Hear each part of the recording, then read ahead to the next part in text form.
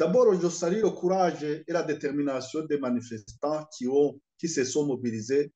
pour défendre la Constitution et l'accord d'argent pour la paix et la réconciliation. Ils l'ont défendu, ils se sont battus à leur risque et péril parce que beaucoup ont perdu la vie et d'autres ont été contraints à l'exil. D'autres sont emprisonnés jusqu'à présent. Ils ont été condamnés dans des procès qui ne respectent pas la procédure, ni la procédure, ni les droits dont les garanties à un procès équitable. Mais et, notre constat est que et, tout sera, tous les échecs qui ont été enregistrés ne sont pas le fait des manifestants ou de ceux-là qui se sont opposés au troisième mandat, mais tout cela est le fait du mauvais leadership de Pierre Nkurunziza et de son équipe qui n'ont jamais voulu écouter les cris des Burundais, qui n'ont jamais voulu écouter la région, plutôt la communauté régionale et la communauté internationale qui ont tous convergé pour proposer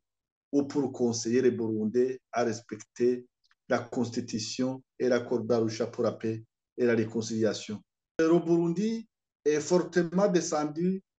aux enfers parce que le Burundi, depuis 2015, est devenu la risée du monde, en ce que le leadership du Burundi, au lieu d'écouter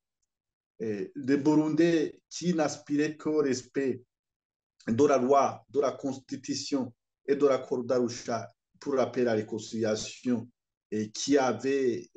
organisé ou qui avait, sur base de la, duquel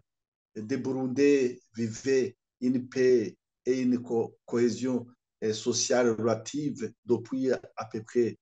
15 ans. C'est le leadership du CNDD et FTD qui a tout bousculé et qui a causé la crise actuelle, la crise qui a causé des milliers de pertes de vie, des, dizaines de milliers de, de personnes aujourd'hui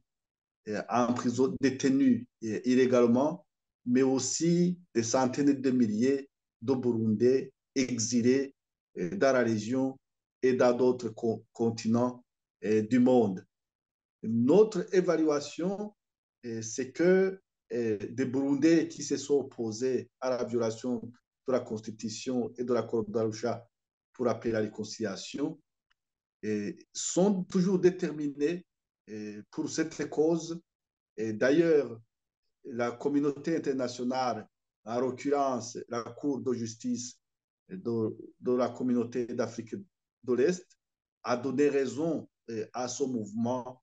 qui s'est mobilisé pour défendre la Constitution et l'accord d'Arusha en déclarant que le troisième mandat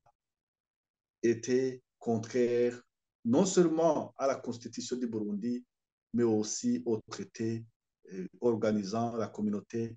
des pays d'Afrique de l'Est.